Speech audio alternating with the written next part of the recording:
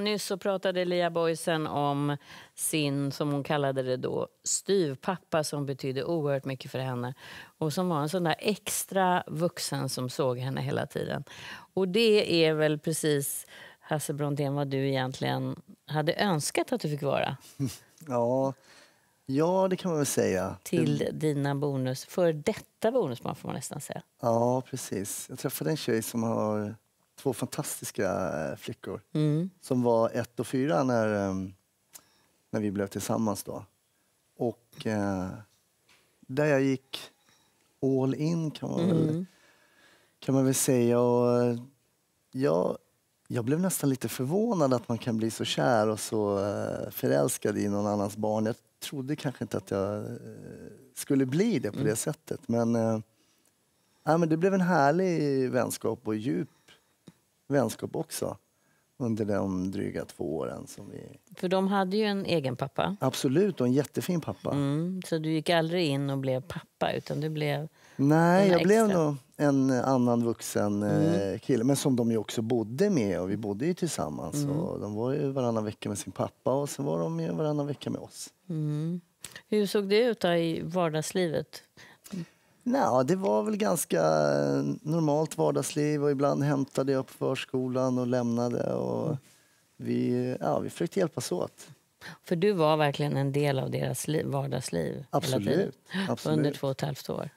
Ja, vi åkte på semester tillsammans mm. och gjorde sånt som en... Vad kallade de dig då? De kallade mig för Hasse. Ja. ja. Så det var ingen tvekan om vem som var vem? Nej. Pappa var pappa och du var Hasse? Pappa var pappa och mm. Hasse var Hasse. Men du, och sen ska vi säga att du har, du har ju barn sedan tidigare. Mm. En dotter som du fick när du var väldigt ung. Ja, jag har en dotter som är 27 år idag. Mm. Så det var lite sådär att börja om. Men det var också, det var också lite jobbigt för mig därför jag tyckte nästan ibland att jag kanske, för att man, man blir lite mer mogen med åldern. Mm. Och jag fick nästan lite dåligt samvete över att jag inte hade gjort vissa saker med min egen dotter som jag kanske engagerade mig i nu med de här de här eh, nya små flickorna som kom in i mitt liv. Men eh, jag tog upp det med min dotter också, var tvungen att säga det till henne, att mm. jag kände lite så. För jag var väldigt ung när jag blev pappa och när man är yngre är man annorlunda. Vad sa hon då? Hon bara, det där ska du inte tänka på. Nej, okay. Du var en okej farsa. Du var en okej farsa. Men de, de blev oerhört betydelsefulla för dig och då eh, hände det som, som gjorde att du förlorade dem. För ni separerade. Vi separerade och eh, som alltid så är det inte så roligt. Och då kunde jag träffa flickorna lite efteråt där. Eh, också via deras pappa faktiskt. Mm. Eh, väldigt gulligt av honom och körde in dem till stan. Och vi kunde Vad gjorde ni då? då? Nej, senast jag träffade dem så var vi och käkade lunch, vi latchade lite i någon park. Sen var vi faktiskt på Bärvaldhallen där de hade någon singalong för mm -hmm Eh, för barn. Eh, men sen just efter den kvällen så blev jag upplyst om att jag aldrig ska få träffa dem mer. Och varför då? Ja, jag vill inte lägga orden i mun på någon och sådär. Min förhoppning är ju såklart att deras mamma ser till barnens bästa då, mm. men att det på något sätt inte skulle vara bra för barnen kanske att mm. träffa mig. Men jag vet att barnen ville träffa mig och de vet att jag ville träffa mm. dem. Vad är du rädd för då, då? För dem, i deras liv är ju ett år en väldigt lång tid. Ja, precis. Nej, jag, eh, jag försökte att få lite kontakt men uh, skicka något meddelande. Stora tjejen kan ju uh, skriva på mm. ett sms och sådär men jag får inte skicka sms heller. Så jag är lite låst och jag kan ju inte göra annat än att acceptera den sorgliga situation som har mm. uppstått. Och... För det är intressant, en, en bonusförälder i en sån här situation har ju ingen juridisk eller laglig rätt överhuvudtaget nej, till umgänge. Nej. Utan är det nej så är det nej. Absolut. Mm. Och det är ju jättetråkigt. Mm. Har du gått vidare i livet? För du har en ny relation va? Jag har en ny relation. Utan barn den här gången? Utan barn den här ja. gången. Uh, och jag har också presenterat den här situationen för henne och sa men om jag skulle få träffa mina mm, för detta bonusbarn, skulle du tycka att det var konstigt eller skulle du tycka, nej hon tyckte faktiskt bara att det lät som en ganska fantastisk mm. eh, idé. Men nu är det ju inte så. så. Men, men det här är någonting som du längtar efter och vill Tror du att det kommer bli så eller måste du bara acceptera att det, det är en stängd dörr och leva med den sorgen som det låter som? Ibland har jag så små planer på att eh, kan man inte bara få träffa dem och säga hej och hur mår ni? Och man är nyfiken. Det är som att två av ens bästa vänner bara rycktes ifrån en plötsligt.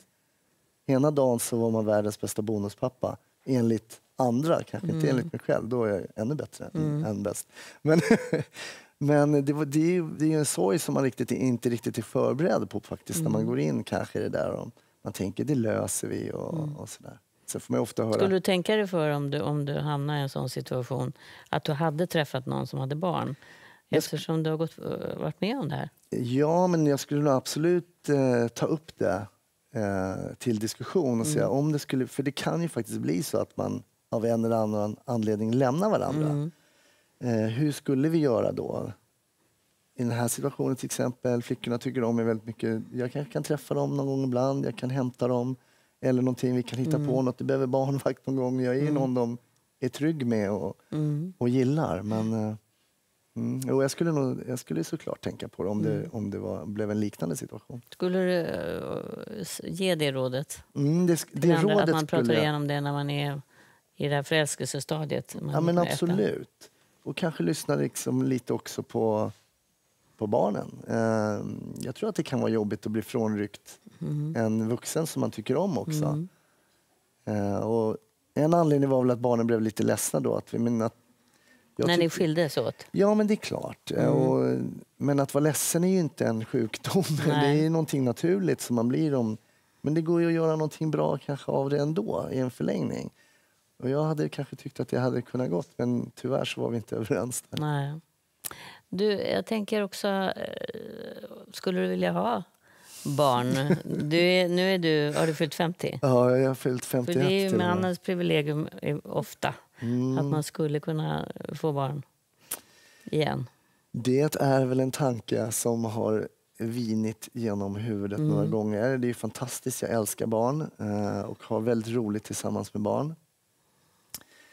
Men jag vet inte om det kanske är lite egoistiskt att bli pappa när jag är 55 och de är 15 och han Mm. moppe och jag har permobil. Eh, jag vet inte, men ehm, alltså man ska aldrig säga aldrig. Nej. Och jag tror faktiskt att en äldre pappa eller en kanske mamma som är lite äldre än genomsnittet kan bli jättebra föräldrar. Och man kan inte Mm. Vad säger din dotter då när du berättar om den här sorgen över att du inte fick träffa dem? Hon hade också en relation till dem eller? Ja, hon tyckte också om de här flickorna. Även de bodde ju aldrig tillsammans Nej. eftersom hon är vuxen och flyttat hemifrån. Och så. Men hon tyckte om de här flickorna jättemycket också. Nej, hon förstår nog min, min sorg i det här.